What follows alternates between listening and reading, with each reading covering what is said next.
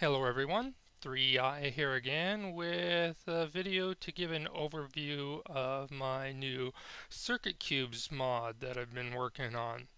Alright, first off I want to give a quick overview of how to do some of these recipes here. Basically, the primary ingredient for even just the primary circuit block, primary redstone circuit block, is actually just sandstone.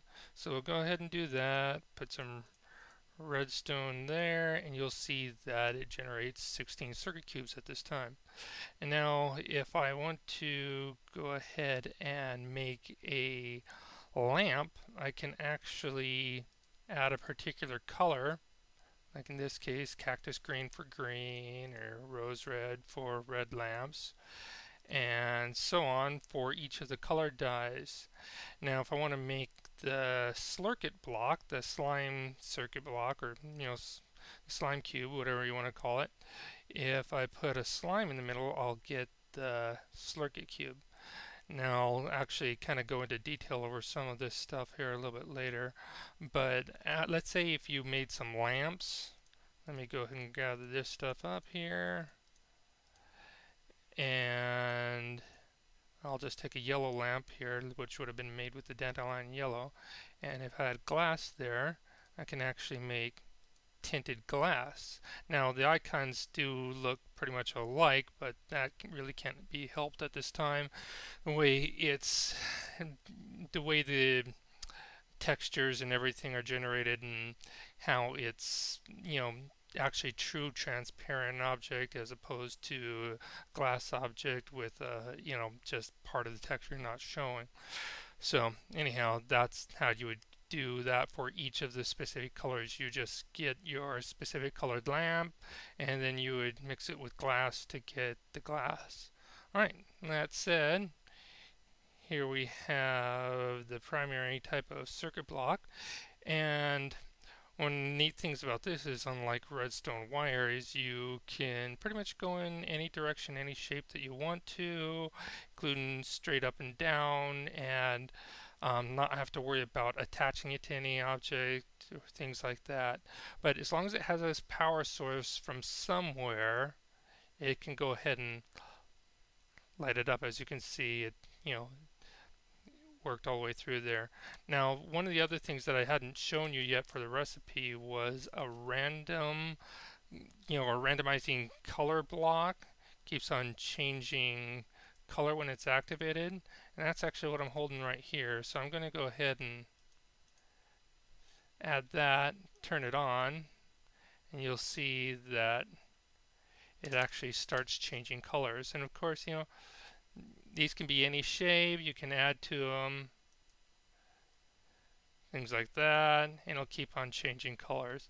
And if you power the whole thing off whoop, there. It'll just go back to the default white color.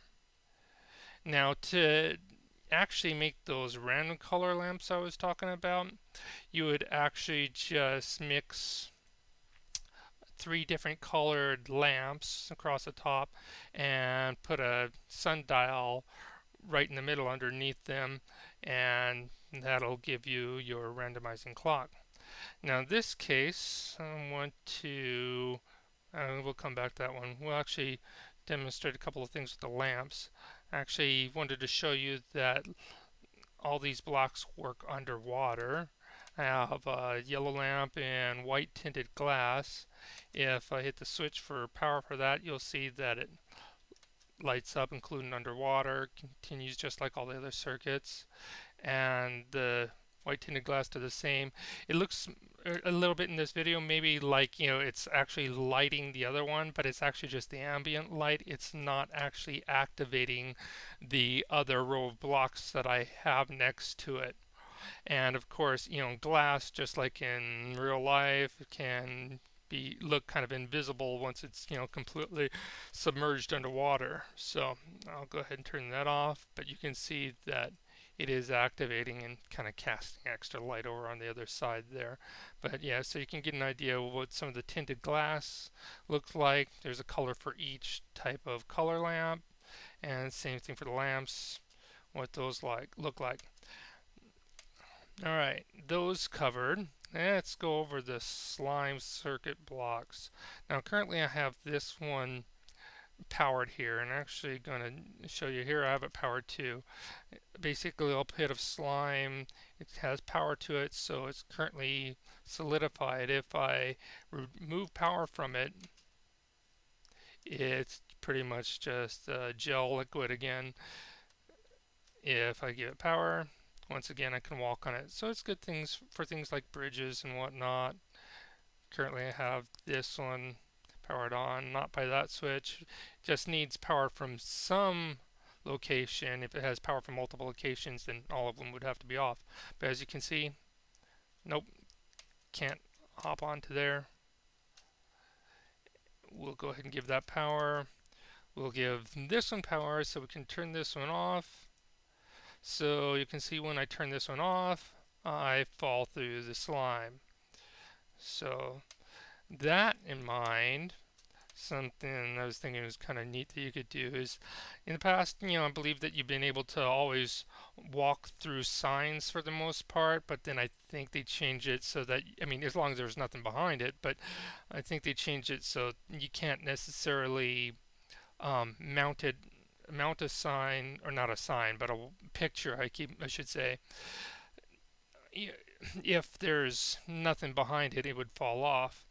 And I kind of ran this up to the edge here just so you could see that you know pictures do kind of have a little bit of a gap there so you probably wouldn't want to put your little slime wall right you know up to the edge behind a picture. But as you can see because it's powered I cannot walk through this picture and you can see it's being powered through here. If I hit the power switch, no longer getting power. So I can actually go up to this picture and walk right through, walk right through both directions and whether or not the slime is activated or not, it um, the picture will stay there. It won't fall off the wall, for instance. So like I was saying before, if you wanted to, you know, activate it from a different location, well, then there you do go. And you're just preventing from anybody else from getting in at the moment. However, now, you know, they could actually lock you on in because you could turn it off and if somebody, while you were in there, had flipped the switch, then it'd still be powered. But, you know, that's just, you know, a little idea of things you can kind of do with that. And I also want to kind of revisit the lamp blocks and glass again here a little bit.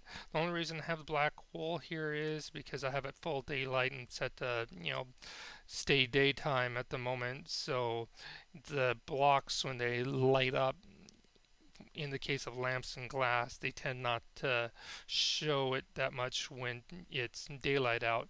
So I put the black wool around to give kind of a contrast. In this case, you see blue tinted glass flip the switch, as you can see, it lights up.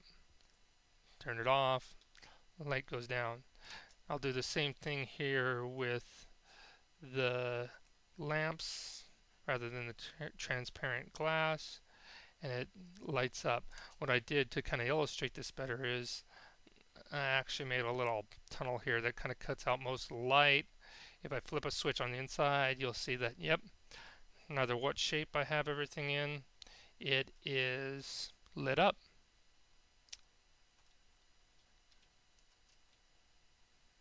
So I can go back in here,